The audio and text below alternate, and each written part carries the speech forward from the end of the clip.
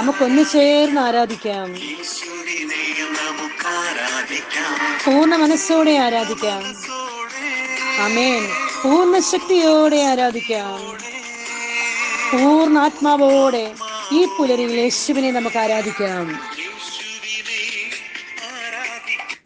Hallelujah പരിശുദ്ധ പരമദിവ്യകാരുണ്യനാഥന്റെ സന്നിധിയിൽ പുലരിയിൽ നമ്മുടെ ഓരോരുത്തരുടെയും ജീവിതത്തിൽ നമ്മെ തകർക്കുന്ന അലട്ടുന്ന ജീവിത വ്യഗ്രതകളെ ഉയർത്തിപ്പിടിച്ചുകൊണ്ട് നമുക്ക് ദൈവത്തെ ആരാധിക്കുകയും മഹത്വപ്പെടുത്തുകയും ചെയ്യാം.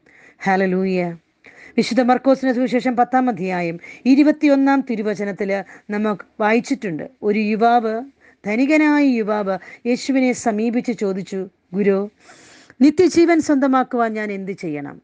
യേശു പറഞ്ഞു നിനക്കൊരു കുറവുണ്ട്. പോയി നിനക്കുള്ളതെല്ലാം വിറ്റ് ദരിദ്രർക്ക് കൊടുക്കുക. പിന്നെ വന്ന് എന്നെ അനുഗമിക്കുക.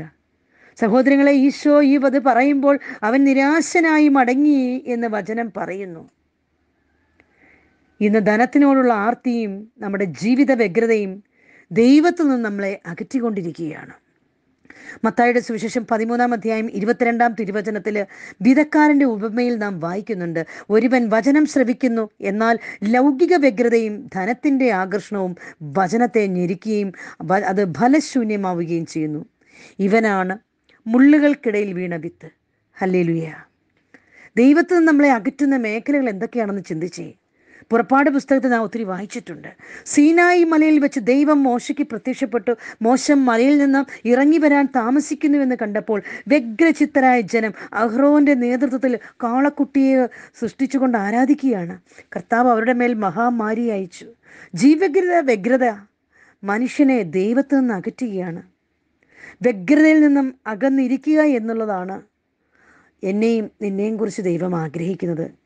യേശു ആഗ്രഹിക്കുന്ന ഒരു കാര്യമാണ് മർത്തായുടെയും മറിയത്തിന്റെയും ഭവനത്തിൽ യേശു ചെന്നപ്പോൾ വ്യഗ്രതയിൽ നിന്ന് യേശു മാറി യേശുവിനോട് ചേർന്നിരുന്ന വചനം കേട്ട മറിയത്തെ ഈശോ പ്രകീർത്തിക്കുന്നതായിട്ട് കാണുവാൻ സാധിക്കും. ഹാലിലൂയ സഹോദരങ്ങളെ ജീവിത വ്യഗ്രതകളിൽ നിന്നും അകന്നു നിൽക്കുമ്പോഴും ഞാൻ എനിക്കും നിനക്കും ഉണ്ടായിരിക്കേണ്ട ഒരു വ്യഗ്രത എന്ന് പറയുന്നത് സ്വർഗത്തെക്കുറിച്ചായിരിക്കണം നിത്യതയെക്കുറിച്ചുള്ള ചിന്തയായിരിക്കണം. ഈ ഒരു വ്യഗ്രത എനിക്കും നിനക്കും ഉണ്ടാകണം. ഈശോയുടെ ജീവിതം ലൗകികമായ എല്ലാ വ്യഗ്ര വ്യഗ്രതകളിൽ നിന്നും ഒഴിഞ്ഞ ഒരു ജീവിതമായിരുന്നു. എപ്പോഴും ഏകാന്തതയിൽ പിതാവിനോട് ചേർന്ന് നിരന്തരം പ്രാർത്ഥിച്ചിരുന്ന ഒരവസ്ഥ ഈശോയ്ക്കുണ്ടായിരുന്നു. മരണനേരത്ത് പോലും യേശു തന്റെ ആത്മാവിനെ പിതാവിന്റെ കരങ്ങളിൽ സമർപ്പിച്ചുകൊണ്ട് പ്രാർത്ഥിക്കുമായിരുന്നു. പ്രിയപ്പെട്ടവരെ നമ്മുടെ ജീവിതത്തിന്റെ എല്ലാ മേഖലകളെയും വിട്ടുകൊടുത്തുകൊണ്ട് ജീവിത വ്യഗ്രകളിൽ നിന്നെല്ലാം എനിക്ക് വിടുതൽ നൽകണമേ എന്ന് പ്രാർത്ഥിച്ചുകൊണ്ട് പരിശുദ്ധനായ ദൈവത്തെ നമുക്ക് വിളിച്ച് ആരാധിക്കാം ഒന്ന് ചേർന്ന് വിളിച്ച് ആരാധിക്കാം ഈശോ നമ്മുടെ സന്നിധിയിൽ ഇപ്പോൾ അരികിലുണ്ട്. വിളിച്ച് ആരാധിക്കുമ്പോൾ ഓരോ മക്കളെയും ഈശോ ഇപ്പോൾ ആശീർവദിക്കും. വിശ്വാസത്തോടെ ദിവ്യകാരുണ്യനാഥനെ കണ്ണിൽ കണ്ട് വിശ്വാസത്തോടെ കണ്ടുകൊണ്ട് കരം വീശി എന്ന് ആരാധിച്ചേ കർത്താവ് ഇപ്പോൾ പരിശുദ്ധനായ ദൈവം നമ്മെ അഭിഷേകം ചെയ്യാൻ പോകുന്നു. നമ്മെ അഭിഷേകം ചെയ്യുവാൻ പോകുന്നു. നമ്മളെ ബലപ്പെടുത്തുവാൻ പോകുന്നു. നമ്മുടെ നമ്മുടെ ശരീരവും മനസ്സും ആത്മാവും ഒന്നുപോലെ ആരാധനയായി മാറിക്കൊണ്ടിരിക്കുന്ന ഈ സമയത്ത് നിനക്കൊന്ന് ഉച്ചത്തിൽ വിളിച്ചു പറയാമോ? എന്റെ ഈശോയെ എനിക്ക് നിന്നെ മതി. എന്റെ ഈശോ എനിക്ക് നിന്നെ മതിയപ്പാ. അമേ